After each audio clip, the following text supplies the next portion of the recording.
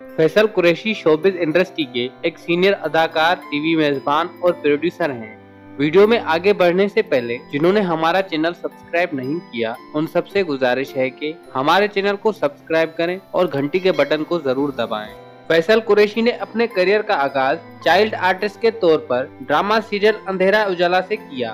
फैसल कुरैशी ने पहली बार drama serial Butta from Toba Tek Singh में मरकजी किरदार अदा किया। और उस किरदार ने अदाकार की किस्मत बदल दी और शोहरत की बुलंदियों तक उन्हें पहुँचाया। उसके बाद फैसल कुरैशी ने कई सुपरहिट और कामयाब ड्रामों में यादगार किरदार अदा किए। आज फैसल कुरैशी का शुमार मुल्क के तजुर्बेकार और बेहतरीन अदाकारों में होता है।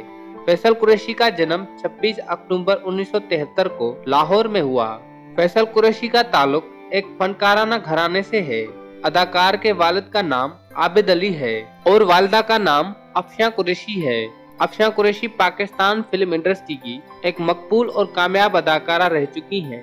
फैसल कुरैशी अदाकारा अफशा कुरैशी का इकलौता बेटा है ड्रामों के चॉकलेटी हीरो फैसल कुरैशी ने पहली शादी 18 साल की उम्र में की, लेकिन तीन साल बाद ही अलहदगी हो गई पहली बीवी से उन्हें एक बेटी हानिश है, जो अब भी फैसल कुरैशी के साथ रहती हैं। फैसल कुरैशी की दूसरी शादी 24 साल की उम्र में हुई, लेकिन ये भी ज़्यादा देर तक ना चल सकी और तलाक पर दूसरी शादी का भी इख्ताम हुआ।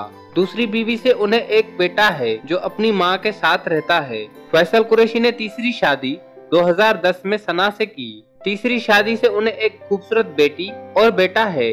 हाल ही में फैसल कुरैशी अपनी अहलिया सना कुरैशी और बच्चों के साथ खुशी खुशी ज़िंदगी बसर कर रहे हैं। दोस्तों, फैसल कुरैशी की फैमिली के बारे में जानकर कैसा लगा? लाइक, शेयर करें और कमेंट्स में अपनी कीमती राय ज़रूर दें।